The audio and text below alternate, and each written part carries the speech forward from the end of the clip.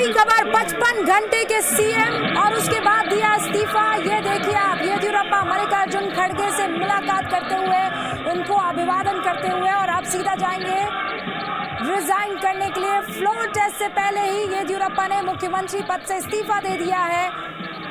पूर्ण नहीं अब पूर्व सीएम कहलाए येदियुरप्पा वहाँ देखिए आप।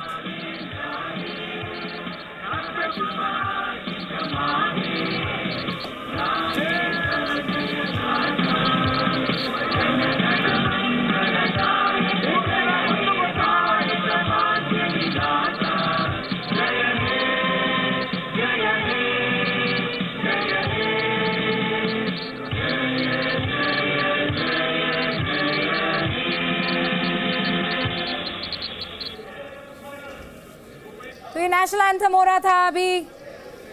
विधान सौदा में, हालाँकि आप देख रहे थे, कांग्रेस के नेताओं की खुशी इतनी कि वो अटेंशन मुद्रा में साफ़ तौर पर नज़र नहीं आए। वैसे फ्लोर टेस्ट से पहले येदियुरप्पा ने मुख्यमंत्री पद से इस्तीफा दे दिया। इस वक्त ये बड़ी खबर है। पूर्ण नहीं, अब पूर्व सीएम कहलाएँगे येदियुरप्पा। उससे पहले लगभग 30 मिनट का भाषण, जिसमें उन्होंने पूरा समा बांधा। उन्होंने कहा कि कैसे उन्होंने यात्राएँ की, कैसे किसानों के लिए काम किया, और अगर उनकी 113 सीटें होती तो वो कैसे तकदीर और सूरत बदल कर रख देते कर्नाटका की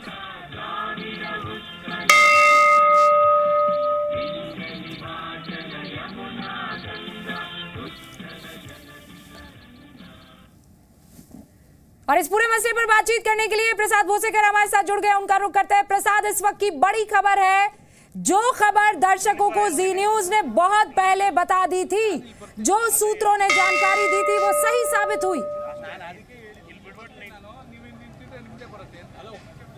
बिल्कुल रूबिका, राजनीतिक शतरंज का खेल चल रहा था, लेकिन जो फाइनल है, वो टी ट्वेंटी की तरह ही देखने को मिला है। इस वक्त मैं राजभवन के बिल्कुल सामने हूँ।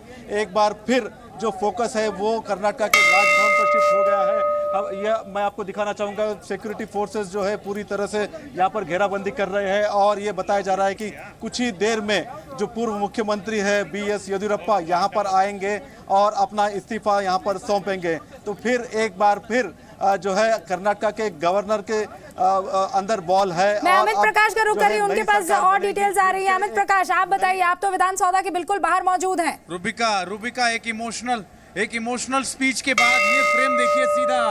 ये फ्रेम इस फ्रेम पे नज़र रखनी चाहिए। इसी कैमरे फ्रेम में जो आपको तस्वीरें दिख रही हैं येदुरप्पा अब पूर्व मुख्यमंत्री हो जाएँगे कुछ देर में और उसके बाद वो इसी फ्रेम से बाहर आएँगी। बाहर आएँगे, जैसा आप देख रहे हैं, ये तस्वीरें, ये तमाम कैमरे यहाँ लग गए हैं और अब से कुछ देर बाद अपना भाषण खत्म करने के बाद अपना इस्तीफा लेके सीधा राजभवन के लिए रवाना होंगे येदुरप्पा। इस वक्त की सीधी तस्वीरें रूबिका, हम आपको दिखा रहे हैं। जयपाल के पास उन कुछ इन्फॉर्मेशन भी है। जयपाल, अंदर थे। जयपाल। जी, जैसे जैसे कि समझा जा रहा था, जैसे कि पहले ही लग रहा था कि येदुरप्पा वो विश्वास अब उनके अंदर में नहीं रहा कि वो विश्वास हासिल कर पाएँगे। ऐसे में जिस वक्त सदन को अर्जेंट किया गया था उस वक्त वो स्पीकर के कमरे में गए थे वहाँ बैठ कर उन्होंने अपना इस्तीफा लिखा था।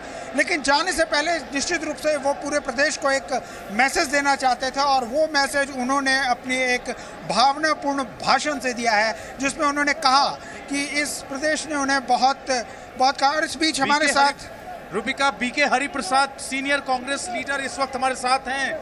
खुशी का मौका है उनके लिए। क्या कहेंगे? इस्तीफा दे के जा रहे हैं, येदुरप्पा। येदुरप्पा भी जी इस्तीफा देना है और नरेंद्र मोदी भी इस्तीफा देना है। प्रजातंत्र को और संविधान को तोड़ने का काम करते हैं। कोई पद पे बैठने का लायक नहीं है ये लोग। लेकिन सुबह से जो हलचल चल रही थी क्या लास्ट मिनट ऐसा हुआ और अब से कुछ देर पहले उन्होंने इस्तीफा अपना अब लेके राजभवन के लिए रवाना हो रहे हैं? मैंने पहले कहा था नागपुर यूनिवर्सिटी के छात्र सब एक्टिव थे। अपना कन्फ्यूज़न क्रिएट करने के लिए हमारे पास कोई कन्फ्यूज़न नहीं था हमारे पास नंबर था संख्या बल था। संख्या बल के ऊपर इस्तीफा देना पड़ा। बीके हरिप्रसाद जी उन्होंने अपने भाषण में ज़िक्र किया जेडीएस और कांग्रेस के गठबंधन का। अनहोली गठबंधन उन्होंने कहा कि ये असंवैधानिक जिस तरीके से जोड़ तोड़ किया गया और अब सरकार जो बनने जा रही है। देखिए इसको भी लोग बहुमत नहीं दिया है। अतंत्र विधानसभा चुनाया है लोगों ने। इसके मतलब सम्मिश्र सरकार के लिए इधर लोगों ने वोट दिया है। इसके मुताबिक हम लोग जेडीएस लाइक माइंडेड कांग्रेस और जेडीएस मिलकर सरकार बना रहा है। अब आगे का प्लान ऑफ़ एक्शन क्या रहने वाला है इस इस्तीफे के बाद? जो गवर्नर साहब अगर उसके विजडम में कुछ अक्ल है तो जो अलायंस का जो लीडर है उसको बुला के शपथ दिलाना चाहिए मुख्यमंत्री क्या उम्मीद कर रहे हैं आप कांग्रेस खेमे में खुशी शुरू हो जाएगी कुछ देर बाद से? पूरा देश में और दुनिया में खुशी है। ये नरेंद्र मोदी का नाटक इधर नहीं चला कर्नाटक में ही। अब सबसे आखिर में एक बात बताइए क्या अब जो तय हो रहा है आपको उम्मीद है जब गवर्नर साहब बुलाएँगे तो वैसी स्थिति में क्या उम्मीद कर रहे हैं आप? ये इस्तीफा जब येदुरप्पा जी सौंपेंगे उसके कितनी देर दिन बाद आपको लगता है? और कोई ट्रिक नहीं चलेगा गवर्नर साहब का बुलाना ही पड़ेगा सबको। सबसे आखिर में कई सारे जेडीएस के विधायक इस बात से नाराज़ थे और खासतौर पे ओल्ड मैसूरू की बात करें वहाँ ये कह रहे थे कि पहले कांग्रेस और जेडीएस आमने सामने लड़ी।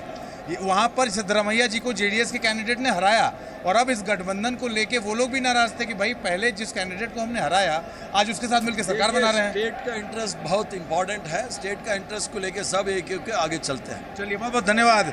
बीके हरिप्रसाद पहला रिएक्शन उस इस्तीफे के बाद फ़र्स्ट ऑन जी है अमित प्रकाश ज़ाहिर तौर पे।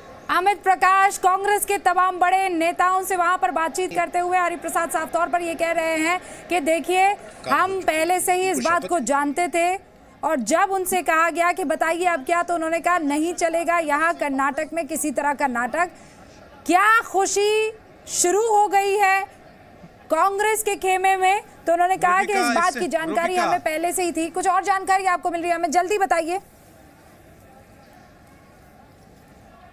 इरशाद साहब हैं, हमारे साथ एमएलसी हैं कांग्रेस से। इससे पहले कि पीछे का फ्रेम आप, रूबिका, उस पर भी नज़र हमें रखनी होगी। किसी भी पल येदुरप्पा वहाँ से आ सकते हैं। विक्ट्री, जीत जीत का साइन बना के उधर से इधर जाते हुए दिख रहे थे आप।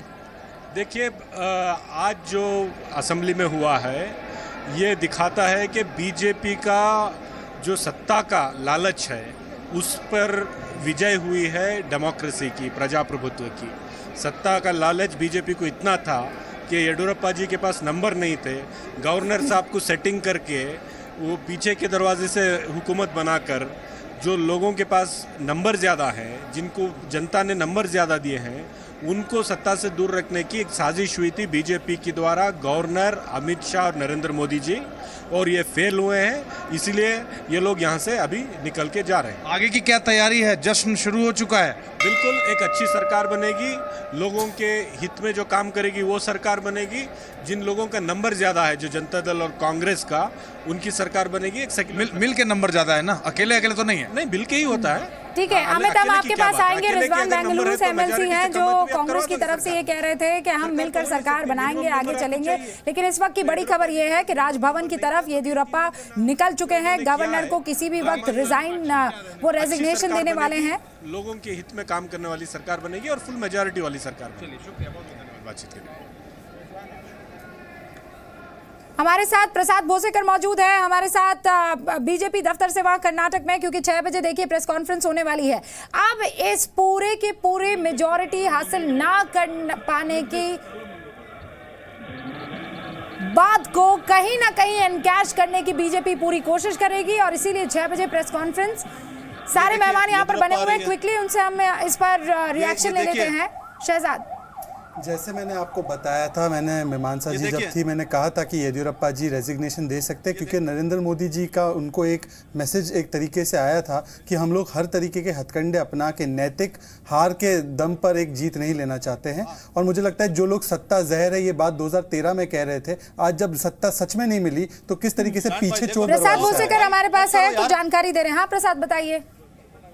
या देखिए, ये मुख्य पूर्व मुख्यमंत्री का काफिला अंदर जाते हुए येदुरप्पा यहाँ से अंदर जा रहे हैं, उनकी गाड़ियाँ जो है अंदर जा रही है। आप देख सकते हैं कि जो गाड़ियों का काफिला है, सीधे विधानसभा से निकलकर यहाँ पर आई है और देख सकते हैं सुरक्षा कर्मी भी काफ़ी तादाद में यहाँ पर है। तो राजभवन के अंदर पूर्व मुख्यमंत्री जो बी एस येदुरप्पा, वो अपना इस्तीफा देने अभी अंदर पहुँचे हैं।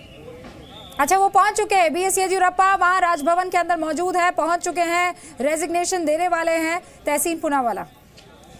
जहर तो भगवान शिव को भी पीना पड़ा और ये जहर पीना कोई गलत चीज़ नहीं है। लेकिन लेकिन लेकिन जो मैंने आपको कहा था कि जो एम एल टच में पहले दिन से एम बी पाटिल आज जो नाम लिए गए मैं आपको पहले का रेजिग्नेशन हो रहा है। मुझे झुटला झूठ मुझे बताया कि मैं झूठ कह रहा हूँ जुमले दे रहा हूँ। जो जुमले देने की जिनकी आदत है वो जुमले देते थे। देश को देश ने आज मैंडेट दी प्रेम शुक्ला जी मेजोरिटी नहीं जुटा जुटा सबसे अगर ज़्यादा वक्त होता तो शायद ये काम कर लेते हम बिल्कुल हम जो है जैसे आदरणीय अटल जी ने कहा था कि हम अनैतिक ढंग से कभी भी विश्वास मत को चिमटे से भी नहीं छुएँगे। और जो लोग जिन्होंने लोकतंत्र को पूरी तरह से हमेशा अपहृत करने का अपराध रोक रही हूँ किया। क्योंकि क्योंकि वहाँ राजभवन से हमारे पास कोई बड़ी जानकारी आ रही है उनका रुख करते हैं। प्रसाद आप ये बता रहे हैं कि इस्तीफा सौंपने के लिए इनफैक्ट पहुँच चुके हैं। वहाँ अंदर है ना राजभवन में? येदियुरप्पा बिल्कुल जो गाड़ियों का काफ़ी लगा है कम से कम दस गाड़ियाँ अंदर गए और ये जानकारी हमको यहाँ के जो कर्मी बता रहे हैं कि अंदर पूर्व मुख्यमंत्री बी एस येदियुरप्पा का ही काफिला था और यहाँ इस्तीफा देने वहाँ पर पहुँचे हैं क्योंकि विधानसभा बिल्कुल बगल में ही है। तो कम से कम सिर्फ़ एक मिनट का उनको जो है फासला तय करना था और यहाँ पर पहुँचना था। तो अंदर गए हैं और जिस प्रकार से निर्धारित था ही जैसे उन्होंने वहाँ पे अ, अपना रेजिग्नेशन अनाउंस किया तो औपचारिक तौर पर यहाँ पर आके उनको रेजिग्नेशन देना ही था। अमित भी हमारे साथ है, निश्चिता भी हमारे साथ जुड़ गई है। अमित, आपके पास भी कुछ जानकारी आ रही है? अपडेट है, एक अपडेट रूबिका, इस वक्त की अपडेट यह है कि ऐसे सूत्रों से खबर आ रही है कि जेडीएस और कांग्रेस के गठबंधन की सरकार का कल शपथ ग्रहण समारोह हो सकता है ऐसी हाँ। खबर अभी अभी आ रही है कंफर्म नहीं है। सूत्रों से खबर है जयपाल बताएँगे। जी बिल्कुल दरअसल जनता दल सेकुलर और कांग्रेस अब दोनों कोई किसी भी तरह का को कोई चांस नहीं लेना चाहते। वो जानते हैं कि इसमें जितनी भी देर वो करेंगे उसमें फिर कहीं जोड़ तोड़ की राजनीति शुरू हो सकती शुरू हो जाएगी। ऐसे लिए ज़रूरी है कि जल्द से जल्द वो शपथ ग्रहण कर लें। और अब राज्यपाल के पास भी दूसरा कोई चारा ऑप्शन नहीं बचता है सिवाय इसके कि वो जनता दल सेकुलर को आमंत्रित करे वो उसका इंतज़ार करेंगे हो सकता है वो खुद ही गवर्नर के पास पहुँच जाए। पहुँच जाए, क्योंकि अभी- को देखिए और हमें बुलाइए बिल्कुल अभी की अपडेट के हिसाब से जैसा जयपाल बता रहे हैं हो सकता है खुद ही जेडीएस और कांग्रेस के नेता कुछ देर बाद राज्यपाल के पास पहुँच जाएँ और ऐसी खबर आ रही है दोबारा दोहरा रहा हूँ दर्शकों के लिए। कल शपथ हो सकती है जेडीएस और कांग्रेस की जो ठीक है बीजेपी के बी एस येदियुरप्पा और शोभा करांदले जो हैं अनंत कुमार के साथ वहाँ राजभवन में मौजूद हैं वहाँ पहुँच चुके हैं। इधर ममता बनर्जी फ़ौरन ट्वीट करती हैं लिखती है democracy wins congratulation Karnataka congratulation Devegowda ji Kumaraswamy ji Congress and others victory of the regional front यानी यहाँ पर अब रीजनल फ्रंट की तैयारी भी शुरू हो चुकी है। क्या? ये इस वक्त की बड़ी खबर है। मनीष शुक्ला भी हमारे साथ जुड़ गए मनीष आपके पास क्या जानकारी है? जिस कांग्रेस ऑफ़िस में हर वक्त सुनसान ये रहता था, दफ्तर को यहाँ आता जाता नहीं था, काफ़ी यहाँ कम हलचल देखने को मिलती थी। लेकिन जैसे ही येदुरप्पा की सरकार गिरी है, हम आपको दिखाना चाहेंगे कि कांग्रेस दफ्तर में इस वक्त हलचल बढ़ गई है। जो तमाम यहाँ जो प्रवक्ता हैं कांग्रेस के, वो आने शुरू हो गए हैं, वो बात करने लगे हैं। और ये बार बार बात कही जा रही है कि पहले से ही कांग्रेस ये जानती थी कि उनके पास नंबर्स हैं, उनके पास आंकड़ा है, बहुमत है, वो सरकार बना सकते हैं। तो अभी थोड़ी देर में यहाँ प्रेस कॉन्फ्रेंस होने वाली है और कांग्रेस इस बात को लेकर के दोबारा बात कहने वाली है कि बीजेपी ने खरीद फरोख्त की कोशिश की इनके विधायकों को, लेकिन जब वो असफल हो गए तब उन्होंने फैसला किया कि चूँकि वो फ्लोर टेस्ट में पास नहीं हो सकते थे हाँ। तो बेहतर उन्होंने समझा कि येदुरप्पा इस्तीफा दे। आज प्रवक्ताओं की ओर वहाँ पर लगनी शुरू हो गई है। कांग्रेस दफ्तर की बात मनीष शुक्ला बता रहे हैं। अमित प्रकाश का दोबारा रुक करते देखिए वो विधानसभा के बाहर मौजूद है। एक एक करके एमएलसी उनसे एक एक करके एमएलए जो हैं उनसे मुलाकात कर रहे हैं उनसे अपने बयान जो है वो शेयर कर रहे हैं। इसलिए उनके पास बार बार जाना ज़रूरी है। अमित जल्दी से बताइए आपके पास अभी क्या जयपाल आपके पास क्या अपडेट है? जयपाल जयपाल से पूछते हैं जयपाल क्या अपडेट है? अभी की कोई ताज़ा अपडेट हमारे पास?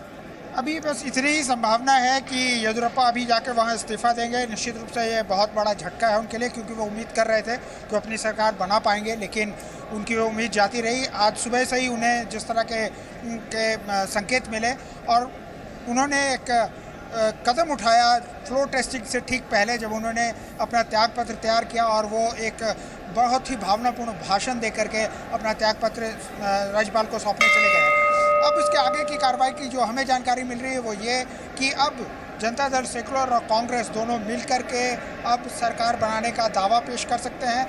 थोड़ी देर निश्चित रूप से वो इंतज़ार करेंगे कि राज्यपाल उनको सरकार बनाने का न्योता भेजे लेकिन वो इसमें ज़्यादा वक्त गंवाना नहीं चाहेंगे चाहेंगे कि जल्द से जल्द वो sir sir sir sir please please just minute. एक और एक और एक और आइए प्लीज़ सर दिस दिस. अच्छा पाँच मिनट के अंदर राहुल बेग गांधी हमारे मीडिया साथ को एड्रेस कर हैं सकते रोशन हैं बेग रोशन बेग है हमारे साथ रूबिका हाँ। सीनियर कांग्रेस लीडर उनसे रिएक्शन लेना ज़रूरी अभी अभी निकले हैं। जीत हुई है, पहली प्रतिक्रिया। जी, ये बड़ी खुशी की बात है कि कर्नाटका में हम बीजेपी को रोक पाए। इतने दिनों से उनकी इतनी कोशिश रही कि गवर्नर ने ऐसा रोल निभाया कि पंद्रह दिन का वक्त दे दिया। सुप्रीम कोर्ट का हम सल्यूट करते हैं कि सुप्रीम कोर्ट ने हमको न्याय दिया। 24 घंटे का वक्त दे दिया और 24 घंटे में हम, हमारे पास बहुमत थी। येडियुरप्पा जी के पास कोई दूसरा चारा नहीं था। वो इस्तीफा करके अब वो राजभवन गए इस्तीफा देने। कांग्रेस और जेडीएस का गठबंधन सरकार बन रही है। कई जगहों पे कांग्रेस और जेडीएस आमने सामने लड़े इस चुनाव में।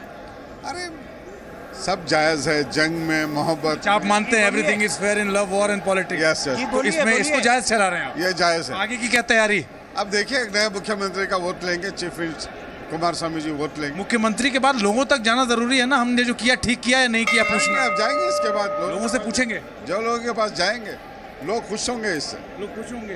पहले जो लोग चाहते थे जिन्होंने वोट किया कांग्रेस को कि जेडीएस नहीं चाहिए जेडीएस को वोट किया कांग्रेस नहीं चाहिए अब वो लोग आपको क्या लगता है? कि प्यार मोहब्बत में राजनीति में सब जायज़ है भाई।